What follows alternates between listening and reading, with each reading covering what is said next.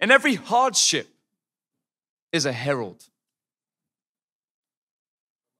David, as the man after God's own heart, understood that within the will of God was great suffering and great adversity.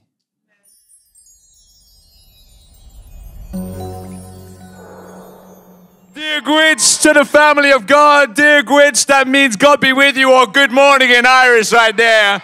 You are in the London Irish Centre, don't look so afraid, it's a real language. Dear Gwitch, now we don't quite do it how they do it.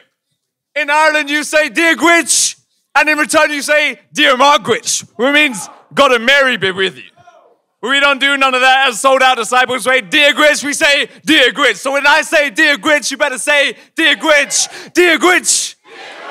Now you're Irish and you have to come on the mission team. Acts chapter 13. You've just signed up right there. It took a while. You said, Dear Gwitch, you gotta come now. Acts 13, verse 22. It says in verse 21 Then the people asked for a king, and he gave them Saul, son of Kish, of the tribe of Benjamin, who ruled 40 years. After removing Saul, he made David their king. He testified concerning him I have found David. Isn't it encouraging when God finds you? I have found David, son of Jesse, a man after my own heart. He will do everything I want him to do. What does it mean to be a man after God's own heart? It means to do everything that God desires you to do. The title for today's sermon is A Man After God's Own Heart. The Bible says God searched for a leader that was after his own heart. The word heart in the Greek is cardia.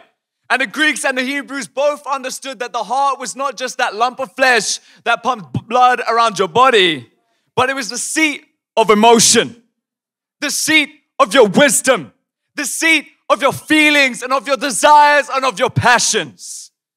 So to be a man after God's own heart means to be a man or a woman that pursues God's feelings, God's passions, God's desires, God's mind, God's understanding. God, I want to think like you.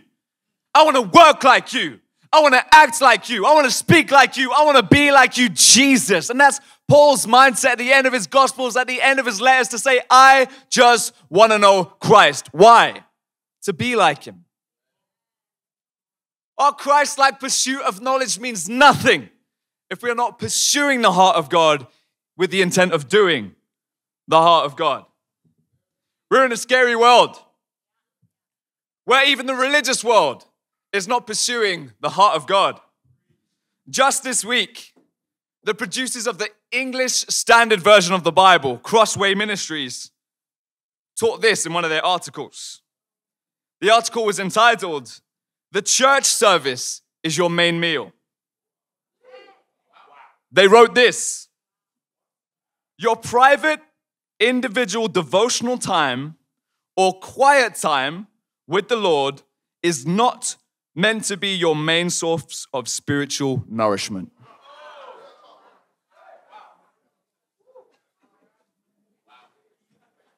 That's what that worldwide ministry is teaching.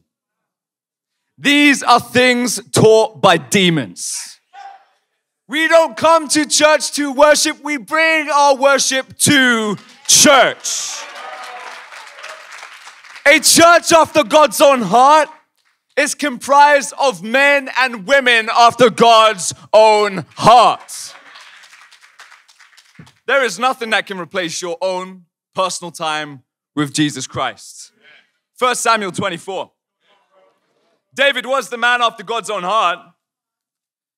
But this chapter for me stands out in an incredible way of showing just why that is.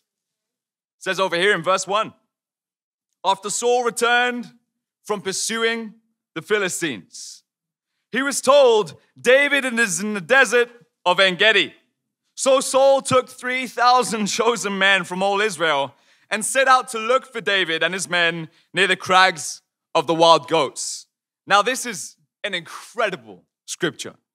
The Bible says here that Saul, after chasing David for hours upon days, upon weeks, upon months through these deserts, just in the moment in the previous chapter as he was getting close to David, God won an incredible victory by starting a Philistine revolt, snatching Saul away from pursuing David and setting David free.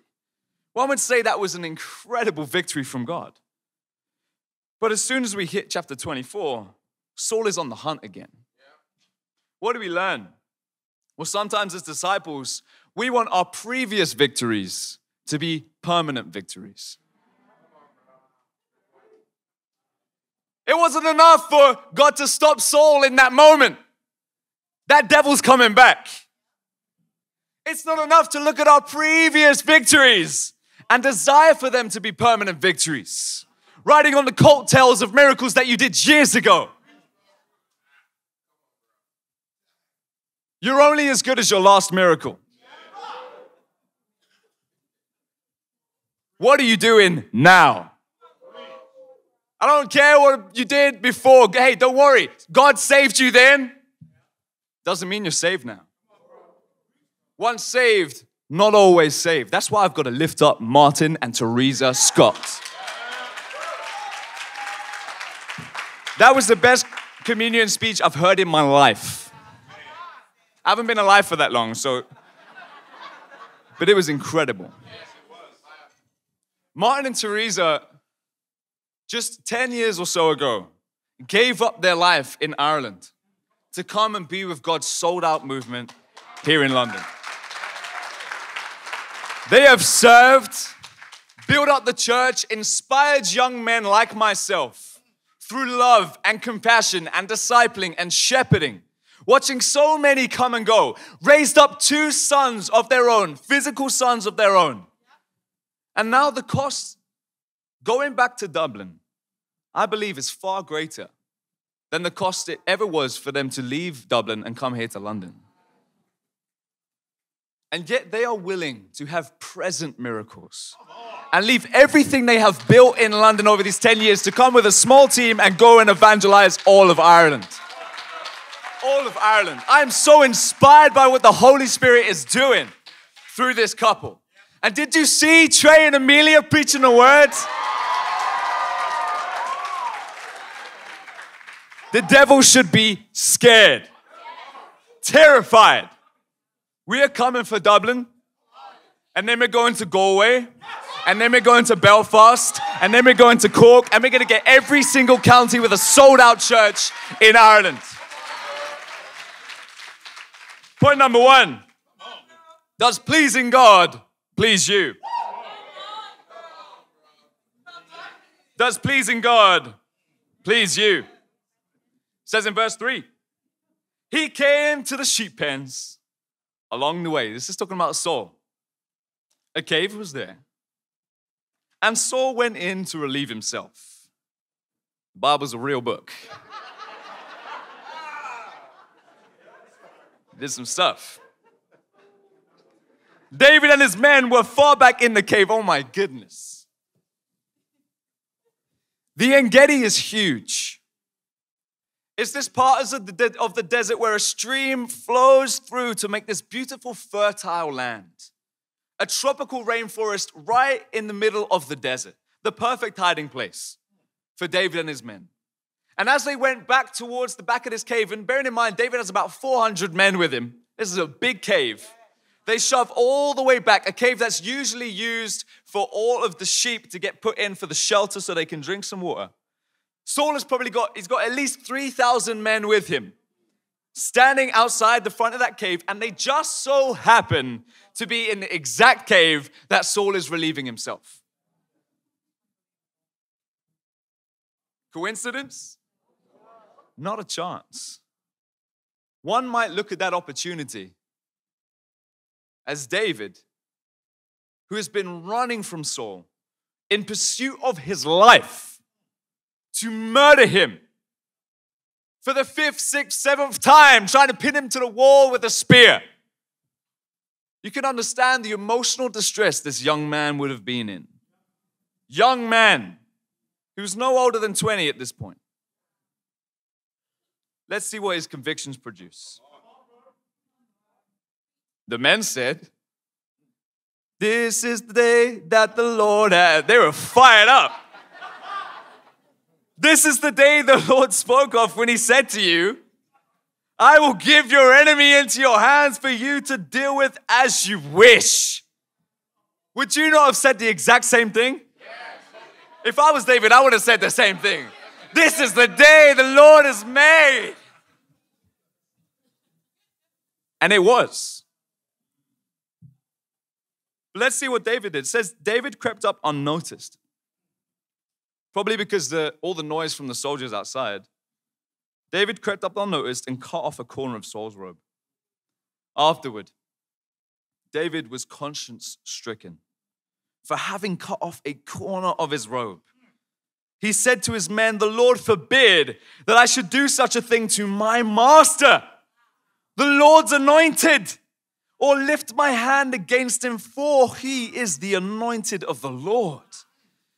With these words, David rebuked his men and did not allow them to attack Saul. And Saul left the cave and went on his way. It certainly seemed like this was the perfect opportunity for the fulfillment of God's promise to David. God had already told David, one day you're going to be the king of Israel. I'm going to raise you up and Saul and his bloodline are going to get taken out, and you are going to rule over Israel and Judah. But notice the promise from God in verse 4 I will give you your enemy into your hands for you to deal with as you wish. This was a test. God wanted to reveal what David's wish was. In the Hebrew, his pleasure. Not just for David to understand, my heart is gripped to the heart of God, but for the 400 men behind him to see the heart of their leader. Do you compromise your integrity for a blessing? He says, I will give your enemy into your hands for you to deal with as you wish or to see what you will do. What has God given you to deal with? What has He given you to see how it will expose your heart. This was the perfect opportunity. God gives you a challenge. How do you deal with it? God gives you a new position at work. How do you deal with it? God gives you a raise. How do you deal with it? God gives you a girlfriend. How do you deal with it? God gives you his son to die on a cross. How do you deal with it? As you wish? Or does what pleases God please you? David was told to do what pleases him, but he chose to do what pleases God. Our life should be all about pleasing God. I've got to lift up Amelia once again.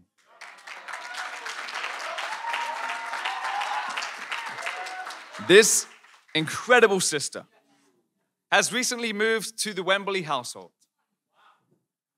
I went out for a prayer 5 a.m. Saturday morning, and who do I see? As usual, around the stadium at 5 a.m. in the morning. Amelia. But what was she doing the night before? The all night prayer with the singles.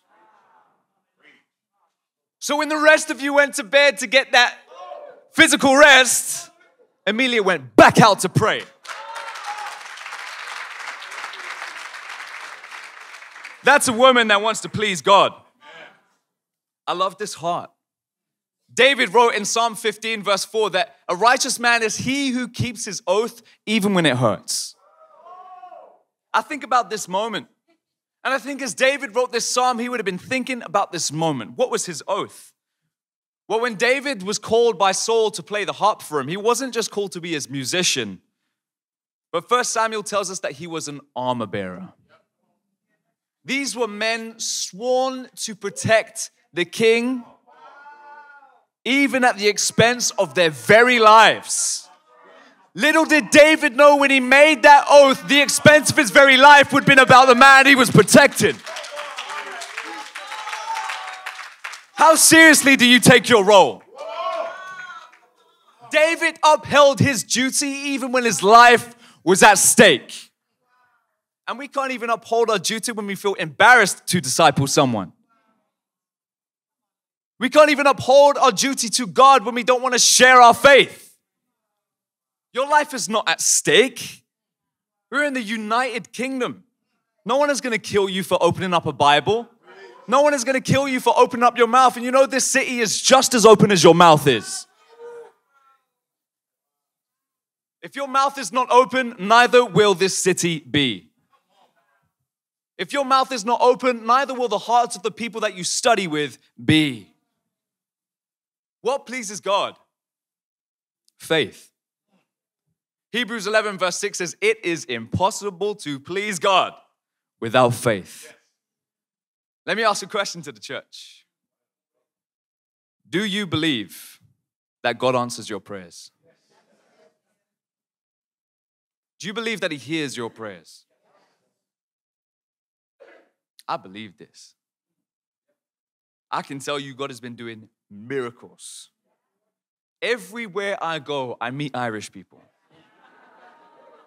In my 28 years of life, I have never before ever met so many Irish people.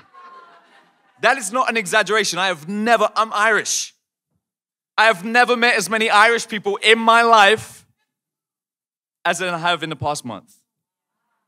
Why? The prayers of the saints. The prayers of the saints. I gotta say thank you for praying for me, for praying for my wife, for praying for my team, for praying for Dublin, for praying for Ireland. Thank you. And not just this church, but all around the movement, people are praying for Ireland. And that's why everybody that I meet is Irish. It makes me go, Luke, what haven't you been praying for? Your prayers are so, God is so ready to answer your prayers. He is so ready to fulfill those prayers that are deep in your heart. The only prayer that God cannot answer is a prayer that you have not asked. What are you refusing to ask God for? What are you refusing to ask God for? Do you know what else pleases God? Evangelism. Why does it please God? Clearly doesn't please the rest of us because we were silent on that point. You know, I'm, I'm married to my incredible wife, Frankie Snow, the beautiful ginger lady in the front there. And she's an amazing wife. She, she, she lifts up my arms. Without Frankie, I would have been in a dark place over this past couple of months because of the great challenges that have God has put on me to refine me as a man of God. My wife has stayed steadfast and faithful.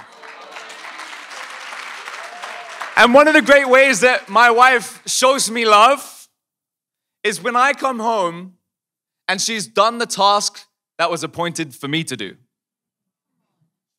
It's my day to cook, I come home, the cooking's already done. It's my day to clean, I come home, the cleaning's already done.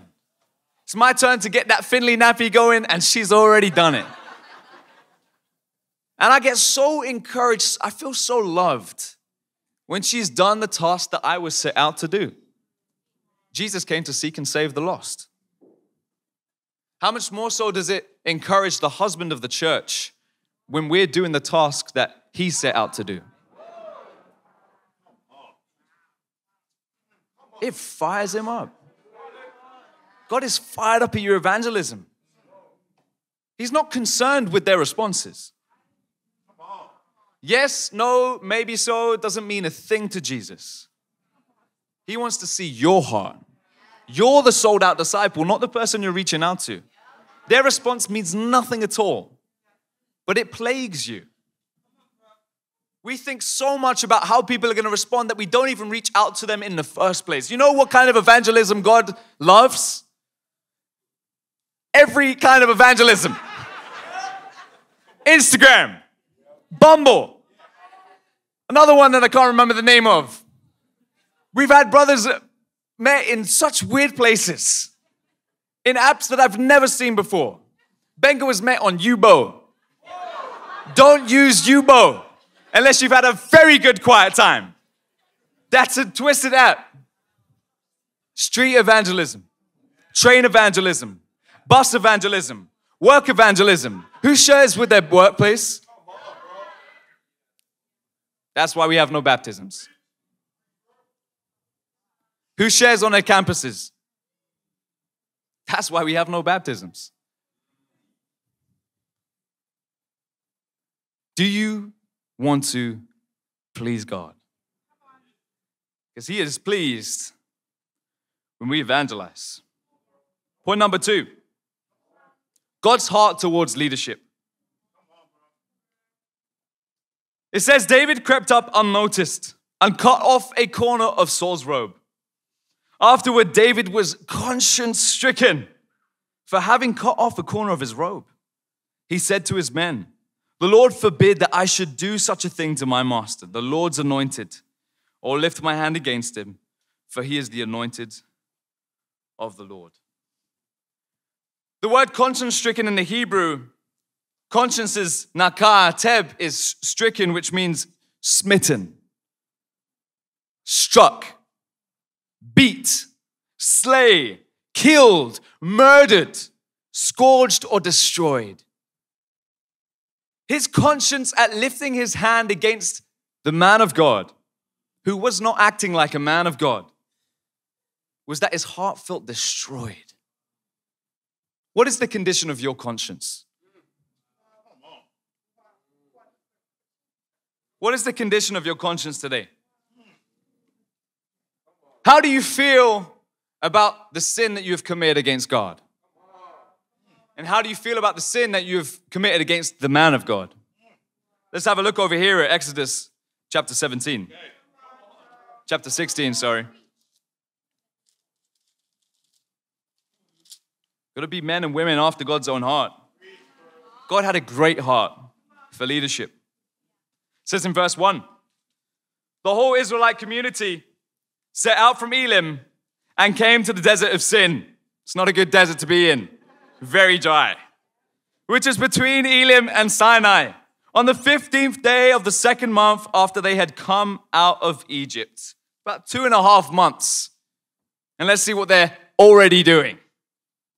In the desert, the whole community grumbled against Moses and Aaron. Now, this is a great lesson for both those who are grumbling and those who are leading. Your whole Bible talk is not grumbling against you. It's probably just one individual. Your whole church is not grumbling against you. It's probably just one or two individuals. So stop throwing a pity party and preach the words. You got to sort out the grumbling. Now, the whole community was grumbling against Moses and Aaron. The Israelites said to them, if only we had died by the Lord's hand in Egypt. There we sat around pots of meat and ate all the food we wanted. But you have brought us out into this desert to starve this entire assembly to death. Who were the Israelites grumbling against? Moses and Aaron. Read your Bibles. It says the whole community grumbled against, right? The whole community grumbled against. They grumbled against Moses and Aaron. Their grumbling was directed to Moses and Aaron. Verse 6. So Moses and Aaron said to all the Israelites, In the evening, you will know that it was the Lord who brought you out of Egypt. In the morning, you will see the glory of the Lord because he has heard your grumbling against him. Who are we that you should grumble against us? Moses also said, You will know that it was the Lord when he gives you meat to eat in the evening and all the bread you want in the morning because he heard your grumbling against. Who are we? You're not grumbling against us, but against the They were grumbling against Moses and Aaron, but God took it personal. God took it personal. Grumbling against your leader is grumbling against God. You want to see one of the scariest verses in the whole entire Bible? Have a look at Luke chapter 5.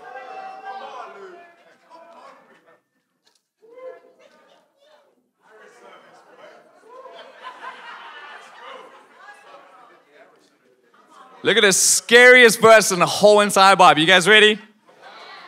Want to read it with you? It says in verse 22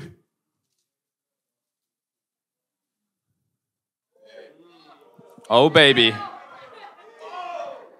Jesus knew what they were thinking and asked, Why are you thinking these things in your hearts? God knows your thoughts. He knows your emotions. He knows your attitude. And He can see right through that humble looking smile towards your leader. He can look right through that. Yes, Mr. Evangelist, sir. He can see through your ushering. He can see through your fake song leading. He can see through your terrible quiet time. He can see all of that. And he can hear your grumbling against him. How do you feel towards your leader? How, how do you feel? Now, I know it's not about, about feelings, but Jesus knows them. What do you think towards your leader? You heard of dismissive pride before? That's, that's, that's European pride. Let me retranslate it for you. Don't worry. Let me help you guys out because I'm, I'm English, so I got it a lot. Let just help you guys in case you didn't realize you are so prideful. Me too. But we're so deceived in Europe to think that we're humble because we're not like those Americans. You know those Americans, right? You know those loud, them loud Americans, right? And we're not like those other nations that only like their nation and stuff. We're not like them. So of course we're not, we're not prideful.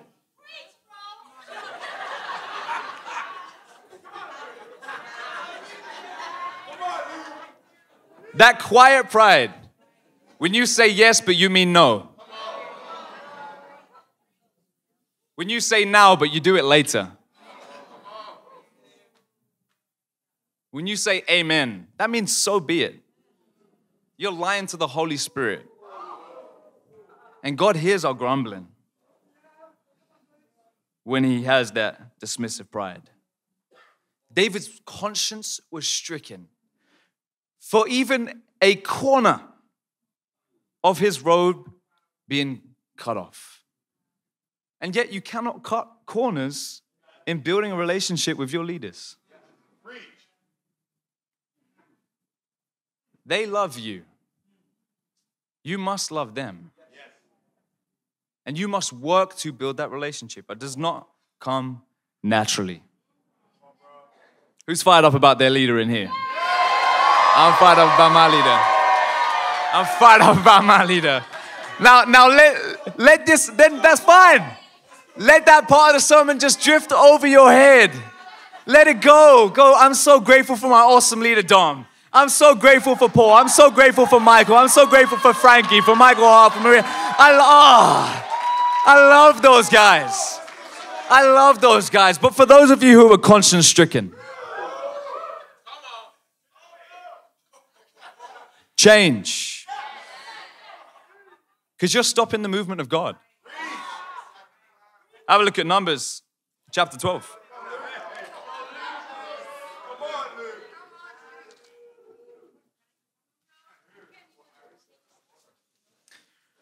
Verse 1.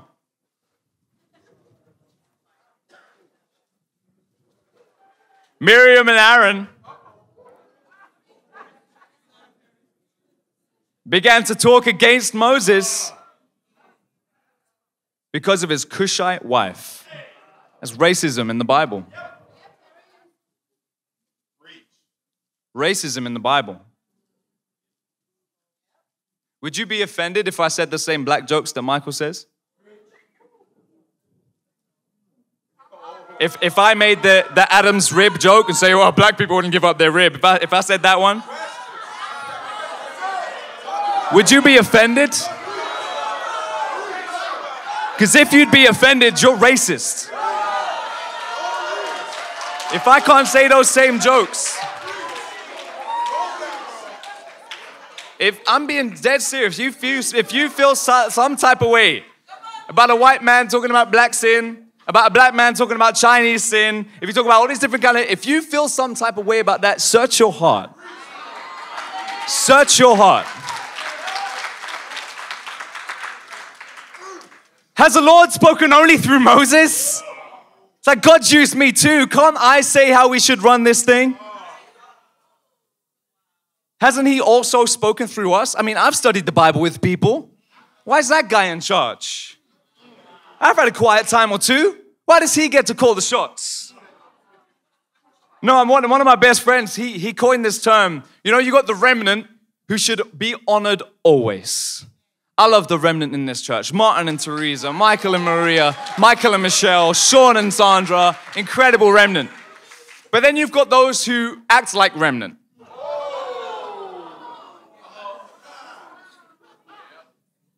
And they're, they're young, but they're old.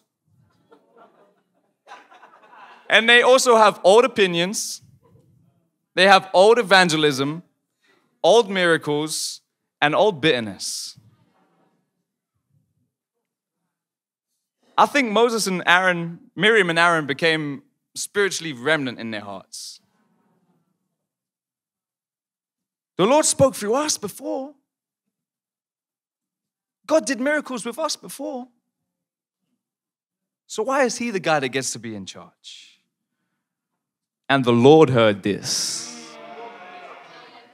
Mm-mm. Now, Moses was a very humble man.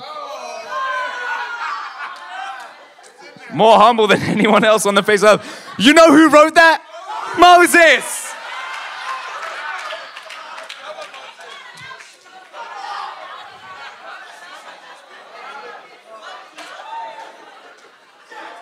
Yep. Moses wrote that inspired by the Holy Spirit. And yet you can't take a compliment from God. He believed what God said about him. Even everyone, you said you're humble. No, God said I'm humble. At once the Lord said to Moses, Aaron, and Miriam, Come out to the tent meeting and prove you. So the three of them came out then the Lord came down in a pillar of cloud. He stood at the entrance of the tent and summoned Aaron and Miriam. Let's go down. Verse 9 The anger of the Lord burned against them, and he left them. When the cloud lifted from above the tent, there stood Miriam, leprous. Leprous. You notice how Aaron didn't get leprosy? His brothers don't care about their skin too much. But you, you humble a sister by their physical appearance?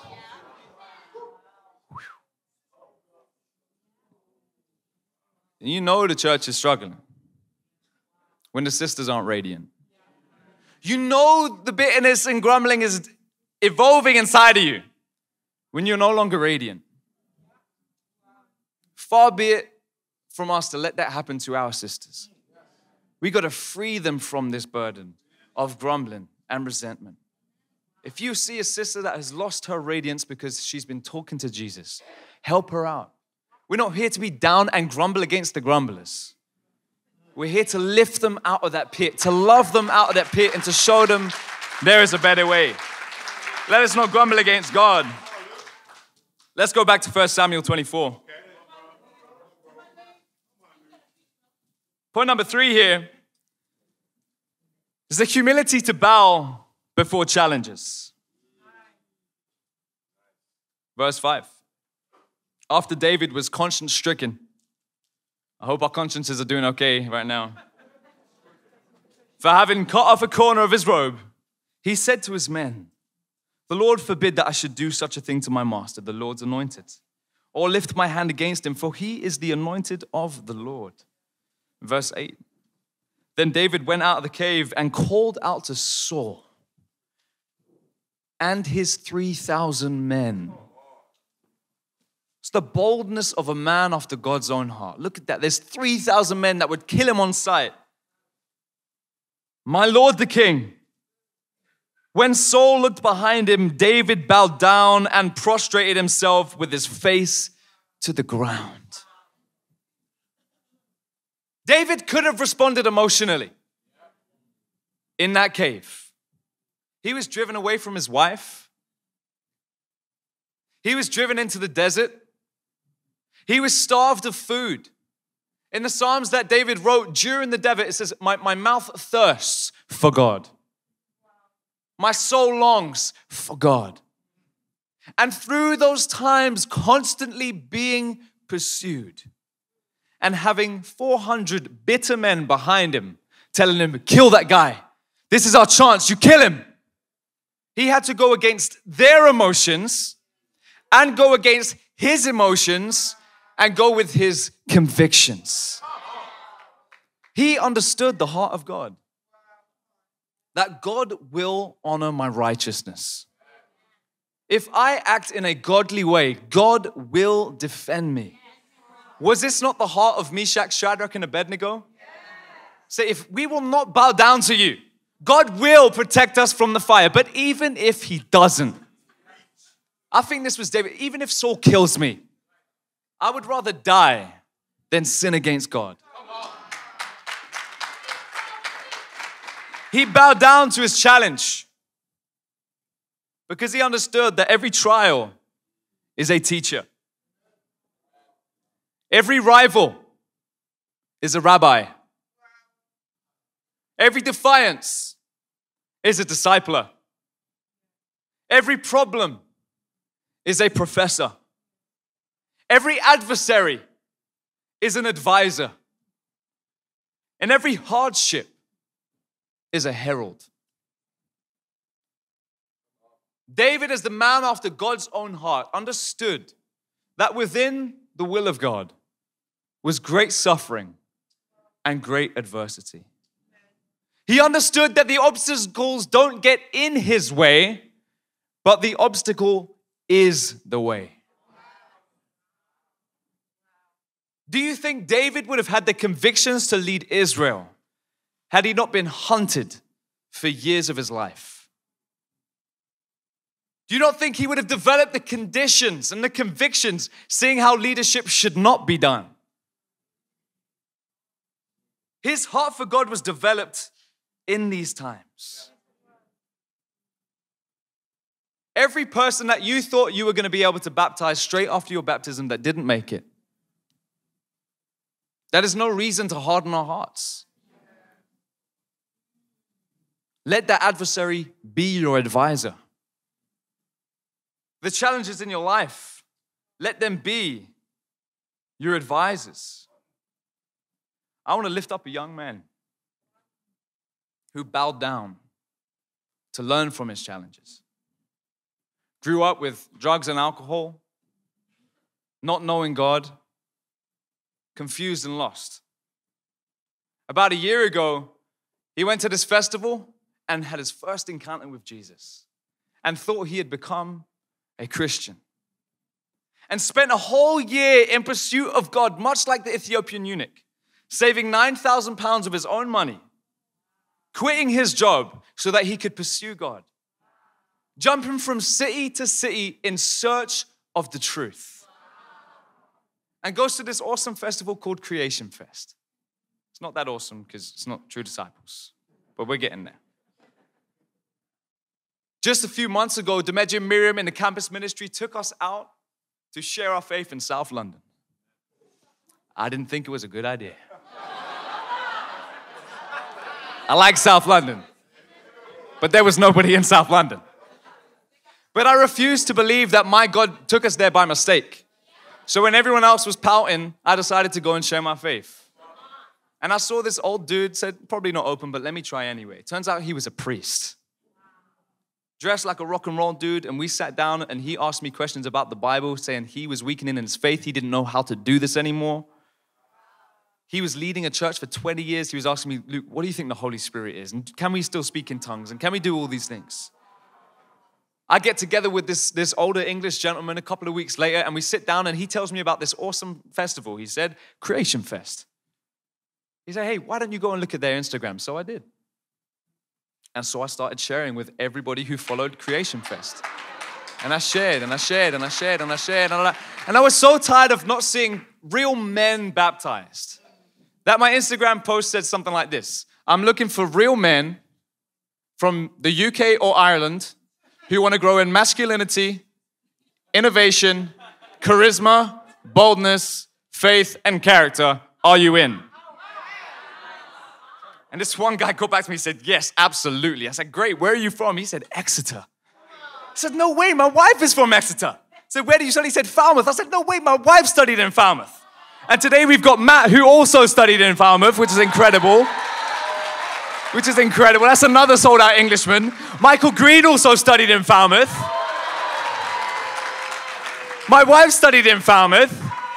It's this tiny little university, and God brought this man, and we did the Word of God study. He was at another festival. So every single day, he had to go out into the open field, get rained on, and do a Bible study in the rain. Over Zoom, holding his phone and his little New King James Bible and just asking me questions about the gospel. I said, Bro, I want to make you into a disciple.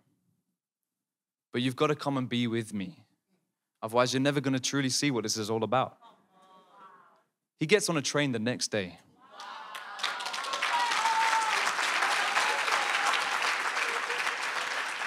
And he has spent the last week and a half living with the brothers, walking with the brothers, preaching with the brothers, crying with the brothers, praying with the brothers.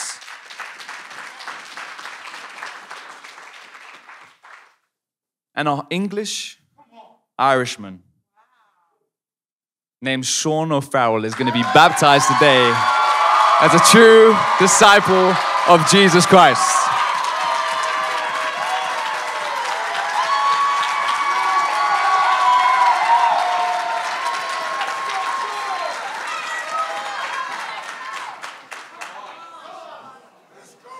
I love this man. He's left all of his friends and family. And I'm not going to tell you that it was easy. He struggled.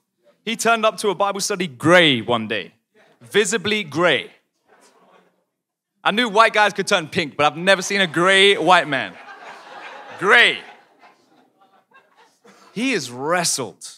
So when you see him making his good confession today, trust me, he means it. He means it. Not only does he mean his good confession, but he means he's willing to be a disciple that goes anywhere, does anything, and gives up everything.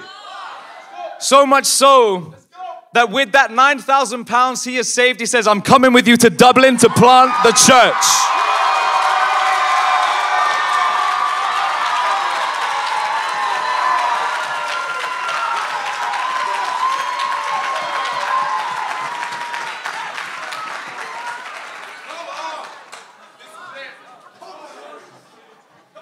There's two other brothers from the European world sector in two of our incredible churches that have also put their name down to come to Dublin, Ireland. The Holy Spirit had to take a man from a different city and two men from different churches because he wants to save Ireland. Where were the London disciples?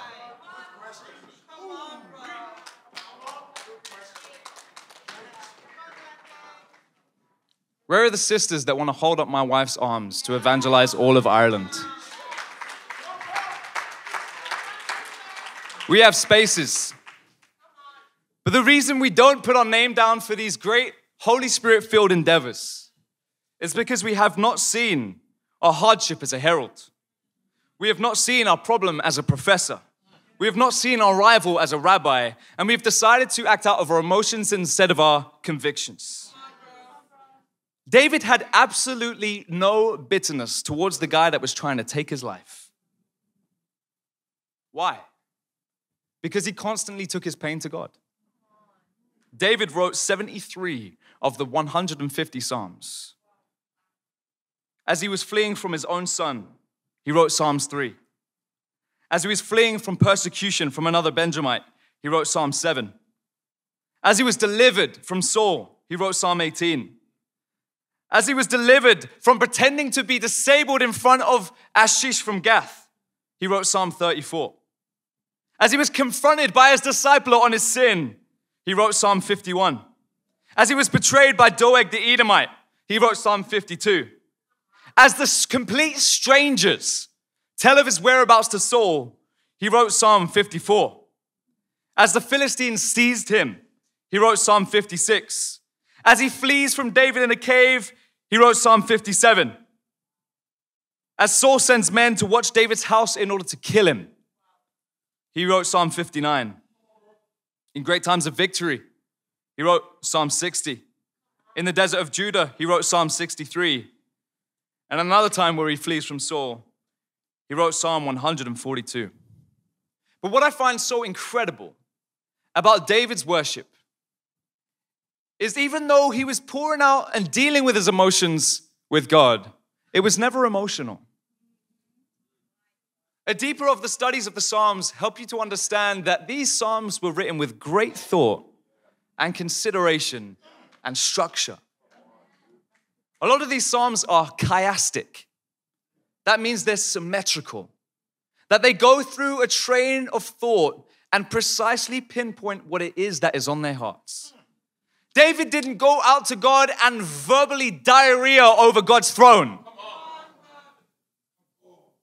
He sat there and he thought, How can I pour my heart out to God? I'm gonna force myself to write two verses of praise. And only for one verse will I tell God my issue. Then in the fourth verse, I will confirm my allegiance. In the fifth verse, I will get out my heart one more time. And in verse sixes and seven, I will confess how great He is. You look through the Psalms and you see this deep structure in every psalm that David wrote. Not an emotional outpouring of everything that he felt, but a commitment to praise God and learn from his trials. We would be willing to completely expose ourselves as David did, to lay down prostrated before our troubles and say, God, teach me.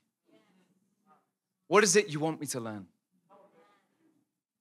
One of our deepest pursuits as men and women of God is to keep our hearts soft so that we may see God. This is only done through deep and intense worship. I want to challenge the church. Deal with your heart the way God calls you to deal with your heart. Take it to God and give Him everything you've got so that you can go out and seek and save the lost. Sign your name up to a mission team. It doesn't have to be Dublin, it can be Spain. We can go to Portugal. We can go to Belarus. We can go to Luxembourg and Latvia and Finland and all these different places in Europe. Today is the day that we make a decision to be men and women after God's own heart, pursuing the mind, pursuing the thoughts, pursuing the feelings, the will, and the desires and the passions of our God in heaven. I love you, and to God be all the glory.